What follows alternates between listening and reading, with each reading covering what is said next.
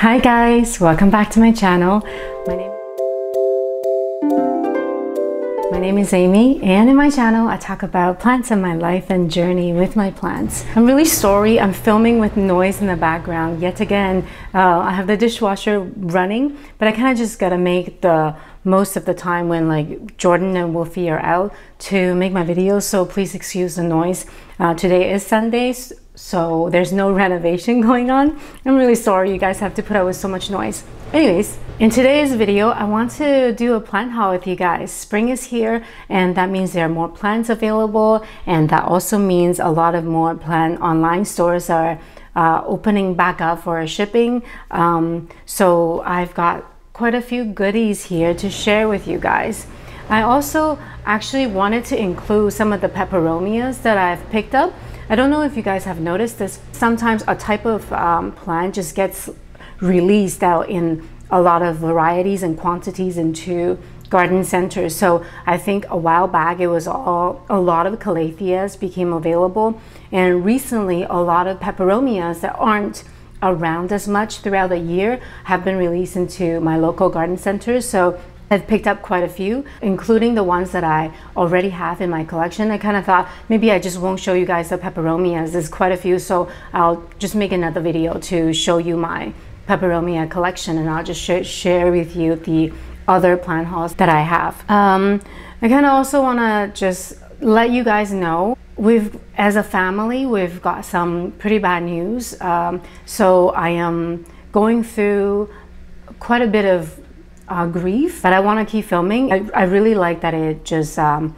the rhythm of life with the filming and the connecting with you guys and the editing. So I want to keep doing that. But I am, we are as a family going through a bit of a hard time at the moment. Anyways, so let's just uh, look at the new plants. They are uh, my saving grace. Um, all right, so let's just get going. The first one I want to show you is this beautiful, gorgeous uh, philodendron lemon lime. It's so adorable. I just love the leaf shape and the color. I have a very similar color plant with in the Potho um, family, the lemon the uh, neon Potho, but they're just not quite the same, you know, like the leaves in the philodendron, it's just more delicate um, and the heart shape uh, shape is just so just so special.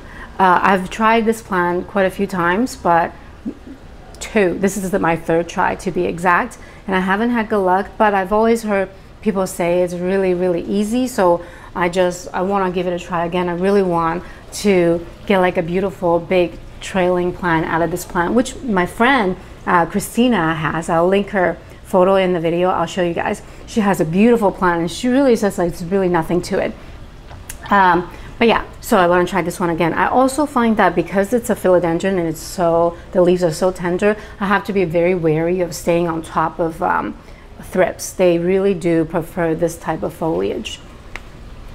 But I'm really happy that I picked this one up. So that's the first one.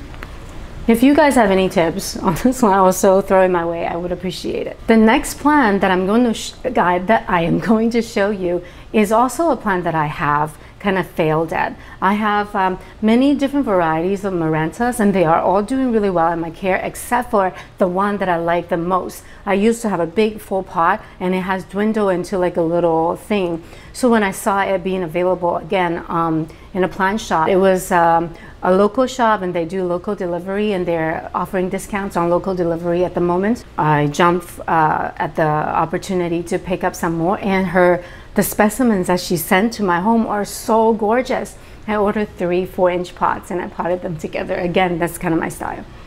Um, so I got this lemon lime Maranta. This foliage, I think it's just one of the most stunning foliage out there. I don't know why, like this one in particular has such a hard time. I it did have to endure a move during, um, like my previous one. I, I moved and I think after the move, it was really just, it just did not do well. Um, but I really hope, I have high hopes for this one because my other ones are really, really happy and gorgeous and just throwing out new leaves constantly. Look at this like tube of new leaf that it's working on. It's huge. And I've heard like um, different opinions on the care for this one. Some people say it thrives in low light, but some people also say they they're doing really well in their like south window, getting like blasted by the sun, like or like really bright indirect light. So I don't know.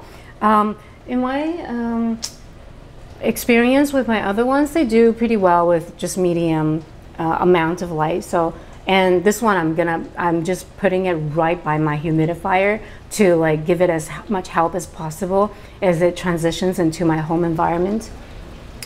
But it's so gorgeous. And you know, like the, the Maranta, the prayer plants, they have so much movement in the morning and at night, the way they their leaves move. Uh, it's just such a, unique, interesting plant. Yeah, and uh, the way it looks like it's kind of almost like trailing, it, will be a really beautiful plant to put on a shelf and have it kind of cascade a little bit. Yeah, it's just, I think it's a perfect plant. All right, so that's the second one. So I'm kind of moving like from like a little bit more common plants to like more of my more like rarer um, plant haul. Um, the next one, I really adore this one too. This one that I, uh, this one is called. Oh, I should have gotten the name. I'll put it on the screen. Uh, I think it's Pelion, Pellionia rip, repens. Uh, I'll make sure I give you guys the right name, but I love it. The lighting is doing it justice. It's uh, you can kind of see the the like green undertone, but when it's in a darker space, it's just it's harder to see that. One, so these are the newer leaves with the green in the middle, and the more mature leaves are more just darker in color. I really like that. And the back is kind of, I don't know if you can pick up, but it's like, feels like a little bit of really like muted pink. I just adore this plant. I have another variety. Uh, I'll, I'll put a picture in, in the screen too. And I really love that one too. And it's a really easy grower. So when I saw this one, this one was also, um, I found it in my local garden center. I was just super, super happy to be able to pick this one up. Um, the new leaves is really cute. The way it emerges is uh, it's just kind of hidden behind the mature leaf. And once it's big enough, then it just, then you'll, you'll see it coming through from the back. Like this is where the new leaf is growing out. Isn't that cool? It's a really cool, interesting plant. It's a lovely one. I keep uh, dropping soil on the ground. I need, always need to sweep after I do my videos. All right, so that's the third one. The fourth one I want to show you, it's a, I can never pronounce this right, a cow, plant. I just call it my potato plant. Um, this one had no ID, but it's so cute, so I picked it up. You know, I actually don't think the camera is doing it justice because maybe because of the light, it's coming off as quite green, but it, hold on, maybe over here you can kind of see. It's actually has this like blue, kind of like a blue star fern color um, in, in its leaf. Maybe I'll put a green leaf next to it so you guys could see uh, the difference in their colors. So the lemon lime maranta is super green, but next to it, do you see this is actually kind of bluish. I don't know if it's coming off the uh, translating into the screen, but it's so cute. I have like a little collection of potato plants now, not caudex plants, and I find them to be really easygoing and just the growth structure is so elegant and special, so I really enjoy that. Most of mine are dormant at the moment, I, but I'm expecting them to start um, growing since spring is coming and it's getting warmer and daylight is longer. So cute. All right, so that's that one. All right, and then the next next two I'm going to show you is uh, our Hoyas, and uh, they're both on, were have been on my wish list, and uh, I saw them both um, being auctioned by the same person um, and the end date was the same. So that would mean that if i had won the auctions i could have i could get them shipped together. So i kind of save a little bit on shipping costs. And she so she posted quite a few things to that she was auctioning and i won one auction. The other one i didn't win but she private messaged me and said that she does have another cutting available if i want to purchase it um, at my like the the auction price that i offer so i took that one too. So, okay, so the first one I will show you is um, Hoya Penchoy. if you guys remember from my most recent, like, not most recent, but my small leaf Hoya video, I posted a picture of my friend's uh, Penchoy and it just tans like a mofo. It's so gorgeous when it tans. So after she sent me, I'll post a picture here too for you. After she sent me that photo, I just started being on the lookout for a Penchoy. Um, so this one was sent to me. I think I was too eager to sun stress it. I put it right in my grow tan uh, under the grow light immediately and it already kind of has some like damage from being under such bright light. I should have probably eased it into the environment and the intense light. Um, I'm not so sure this is the, these this is the same plant as the one that my friend has. Uh, we kind of both agree that we'll see how it tends. If it tends in the same way, if it light stresses in the same way, then it'll probably be the same plant. But it looks almost identical to my Hoya heuschkeliana yellow. But I love that plant too. The These like little leaves are so plump looking. They're so adorable. Yeah, I'm really happy with this plant. It's now in my grow tent. Um, and the other one that I lost in the uh, in the auction that she offered to send to me anyways has been on my wish list for I don't know for so so long. Um, so I'm super excited to get this one. This is the Krohniana Black Leaf. So pretty, this splash. Um, this one came with quite a few like tiny little new growth, new leaves, but uh, some has dropped already. New leaves just like they already don't do well in like stable environment. They drop very easily. Uh, and this one had to travel, so I wasn't too surprised that it dropped, but I'm just really happy. And she sent me this little cute container. Yeah, it's really uh, nice to receive this plant. Yeah, this one actually reminds me of the Lacunosa Royal Flush, I think, that my friend has that I really, really, really want. So pretty. Um, but yeah, really happy with this one. Once it gets a little bit bigger, then I will try to propagate it and like get a fuller pot. I'm just so scared of cutting them and like the cuttings to not root and I lose the length and I don't get another plant. But I will do it once it's a little bit bigger. All right, guys. Okay, so the next one I want to show you guys is, I really love this one. It's so cute.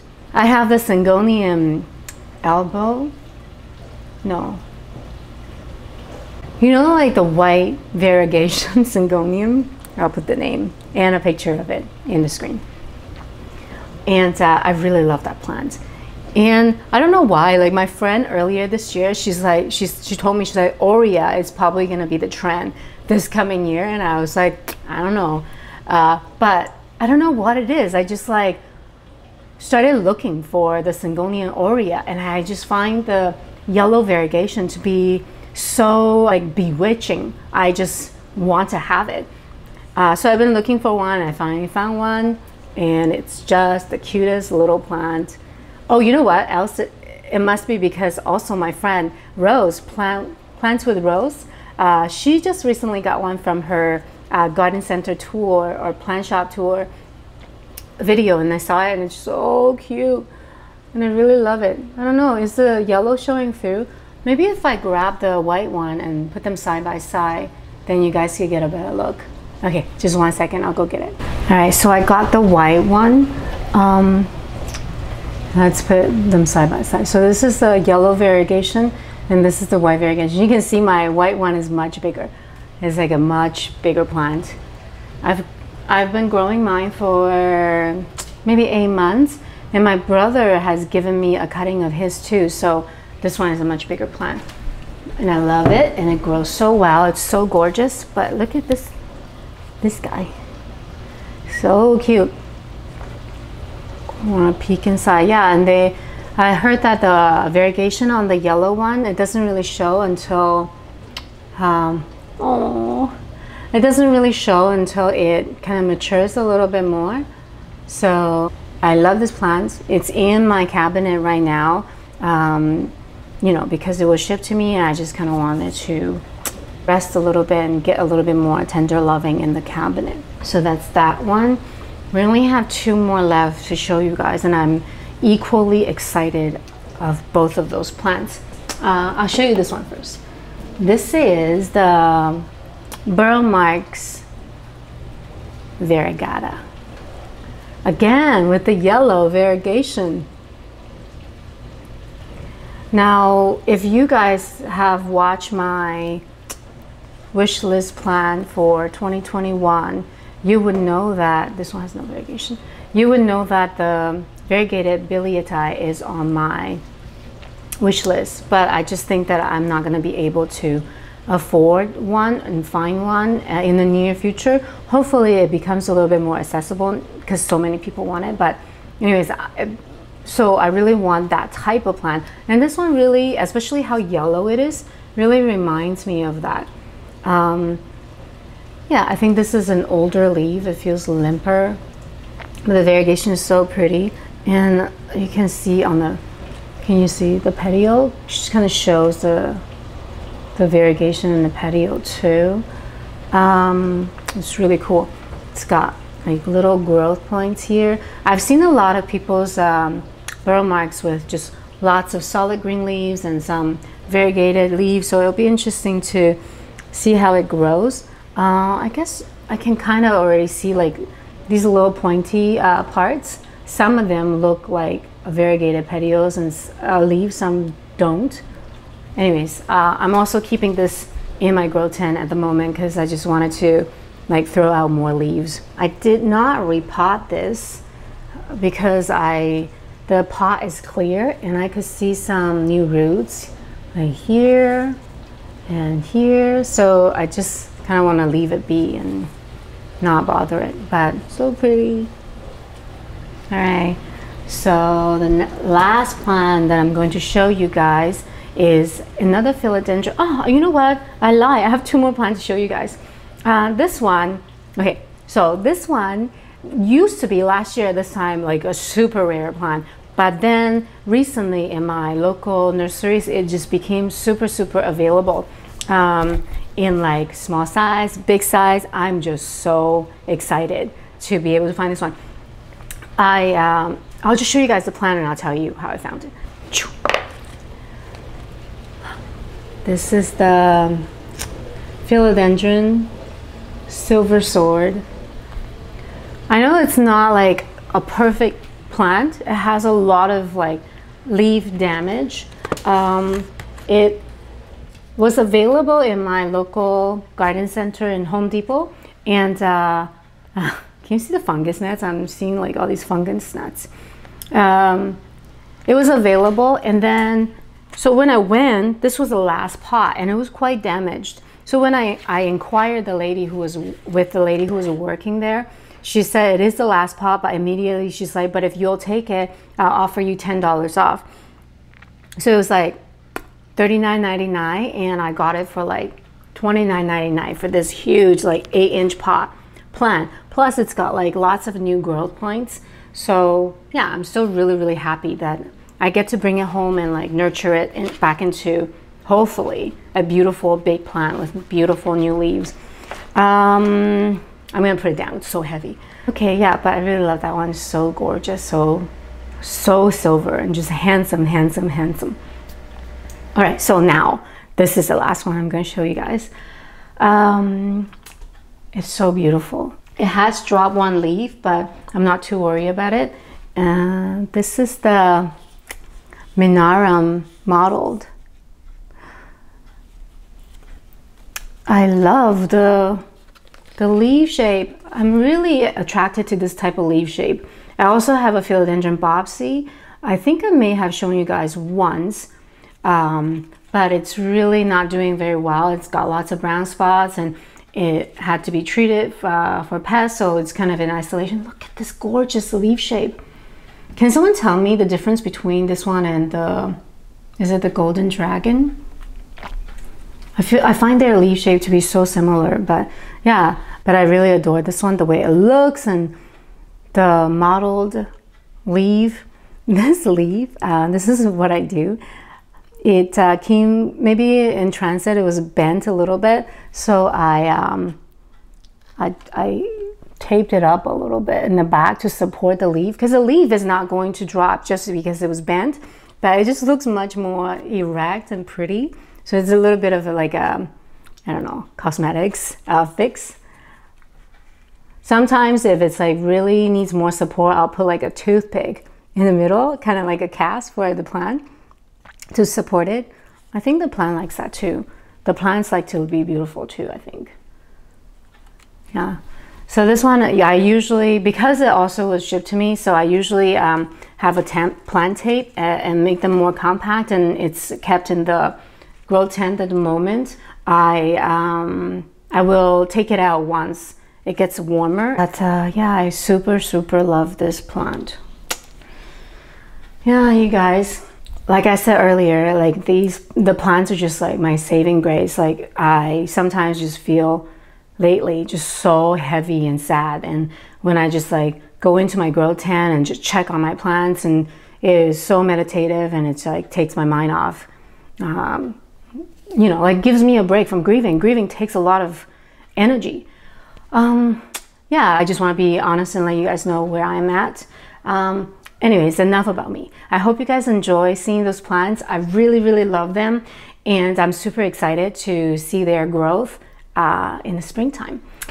Um, all right, so that's it from me today. I think the next one I will film will be my the peperomias that I got. I'm, i really, really love them.